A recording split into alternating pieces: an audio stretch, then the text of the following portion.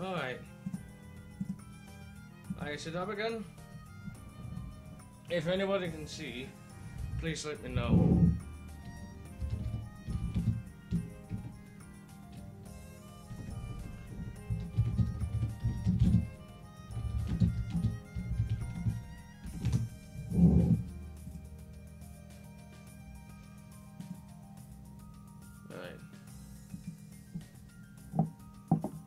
Like, if anybody can hear me, at least let me know.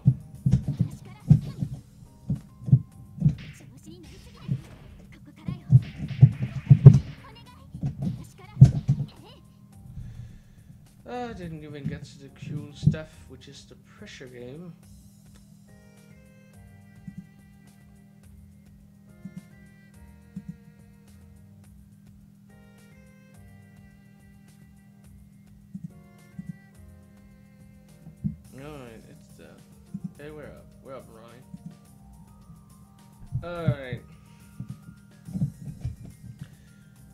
Think I talked enough about the combos. Now to what I consider the toughest part of playing F-Seifuku, but probably the most important part, and that's a pressure game.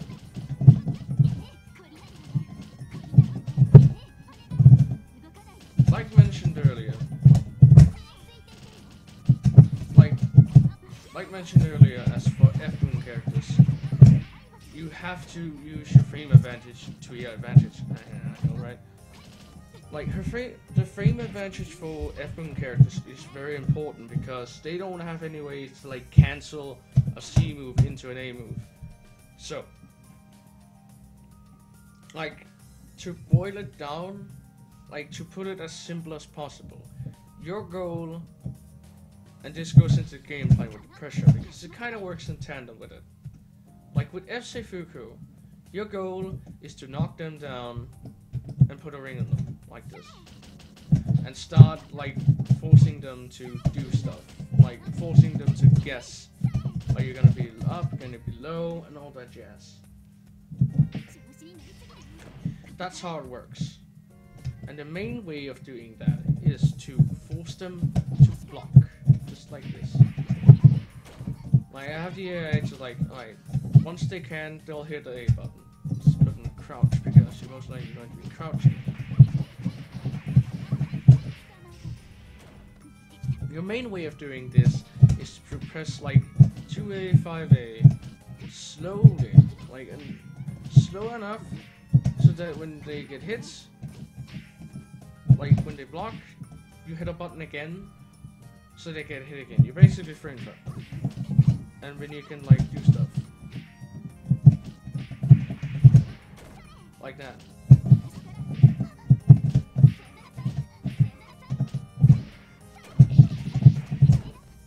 The way you do like there's three main ways of like but of course you can't like you can't just doing this forever.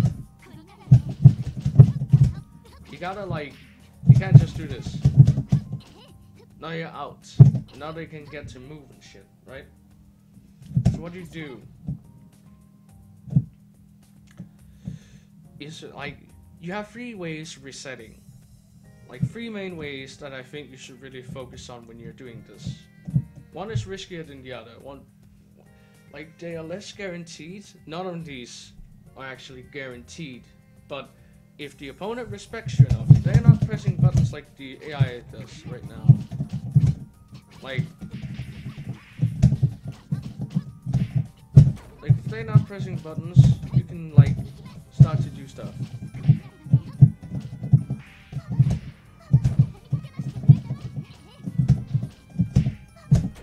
But like the best but also the riskiest is like to do block string into 256A.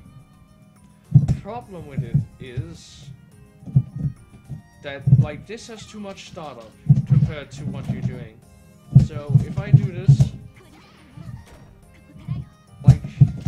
try to... Like, if I try to do stuff, like do a block string, like this, ending in 236 like, I'll just get hit, just like this. That's where, like, stuff like 214 and kind that's why where 214 and IED risks come in. Man, I gotta wrap this up quick. Alright.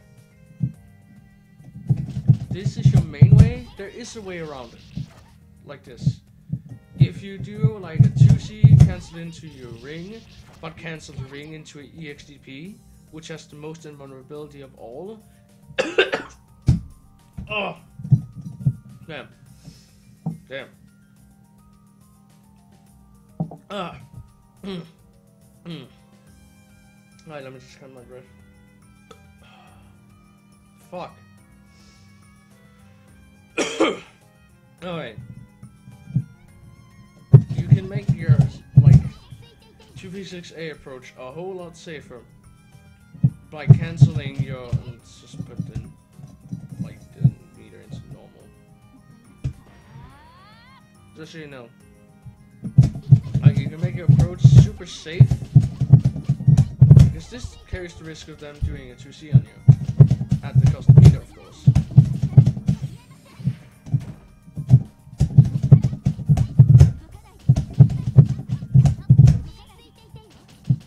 Free to get in again. So, doing this basically guarantees a reset. While stuff like this can, like, it's basically a meterless reset.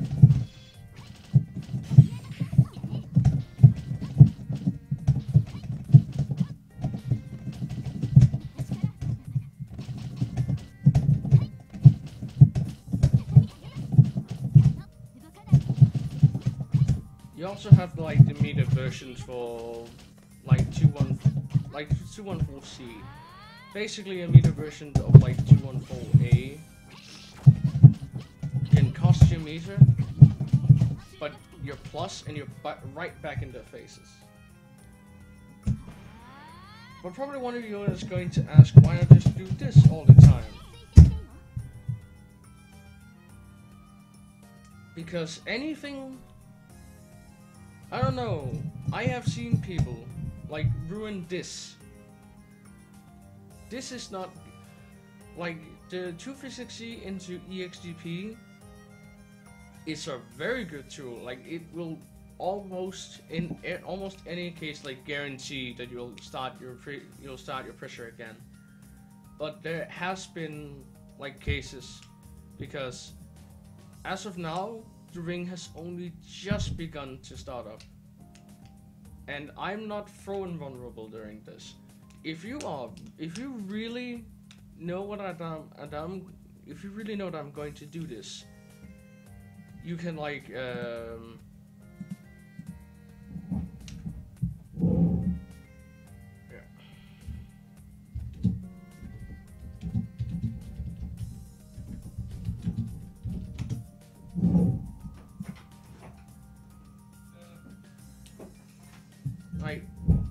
I've run into a situation where my EXDP hasn't hit them yet because they are fast enough to run past the e- run past the ring before they could hit me, before I could hit them, and basically grab me out of it. It has happened, so it's something to like take note of. Another way of like maintaining pressure is to do like 2-2B again.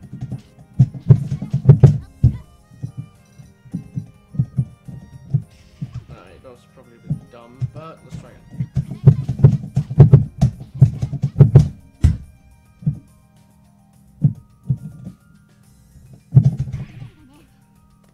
Because like 2-2C has enough plus range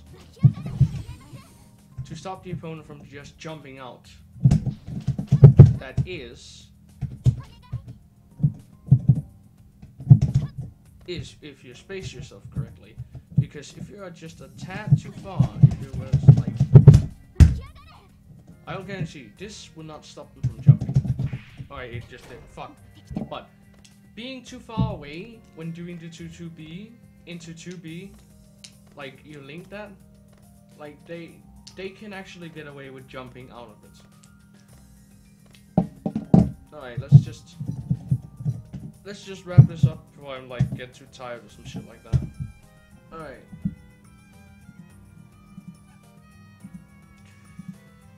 To shortly summarize like what you can do, like to just summarize why you should play her, like during to start your pro to start your OK, which can let like all sorts of stuff.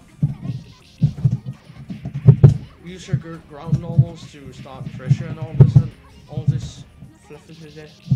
I can tell I'm getting rambly now, but to like conclude it, I'd say, alright, if I were to put it like into pros and cons and reasons why you should and reasons why you should not, I can probably list the reasons why you should play her.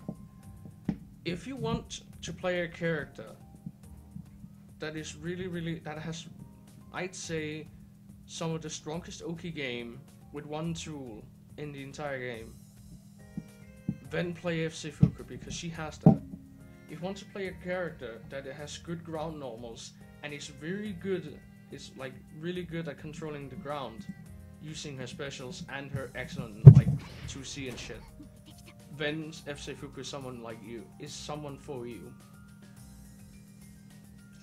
If you like someone who is like, to me, very much fundam- like a fundamental character to work with, aside from 236, like you have to use you have to use basic stuff like basic pressure, fundamental pressure to really be good with her. Reasons why you should like, and the reasons why you should not play her. Right, F-Seifuku has this inherent flaw that again, she has to either get damage Oh, okay and only with like a complicated combo as like like and only with a complicated combo such as like the 2 A loops can she really have like a middle ground between this. So if you like to play characters that like have a combo and can just run a train on the opponent using that one combo. Take C arc for example, Crescent Arc. Like Crescent Arc can hit you with one combo, do 60% and be ready to like hit you again with her Oki. It's not going to be as strong as F-Seifuku's Oki, but she is less reliant on it. F-Seifuku relies on her Oki because she lacks the damage. She lacks that running on a train on the opponent to really win a match. You have to have a series of good Oki and good like mix-ups to win a match with her. You can't win a match. You can't win a match on a single hit. Um, another re- other reasons why you shouldn't be picking uh, like F-Seifuku over other characters, like air game, like like I said with the, my uh, bit on uh, F-Seifuku's normals, they're horrible. Like air normals are absolute shit. Like they're crap. They're not important. Like these, they're good for air to ground approaches, but they're not good for anything else aside from her jumping A. But that jumping A can lose to anything. Like, I think Ciel in many cases can beat like FC jumping A, and that's her only like air to air move. The rest is just air to ground. Um, is there anything else before I wrap this up? I think that was about it. Like, alright. I hope hopefully somebody's still listening to me. Otherwise I feel like a goddamn idiot. But like Alright. There's probably been things I've missed. But um if you'd like to contact me, feel free to do so because I think that's the best way I can like explain things outside of this little video streaming thing I'm doing right now. Like the intricacies of how to play her, the different kinds of situations, and I don't really have the time tonight to go into very specific stuff, and I'm probably not that good at showing it. But with that said, I'll bid to whoever's still listening to me a good night, and I'll probably be seeing you in a match somewhere. Somewhere. I don't fucking know. I don't fucking know. But yeah, you could be able to have a good night. I'm signing off. See you, folks.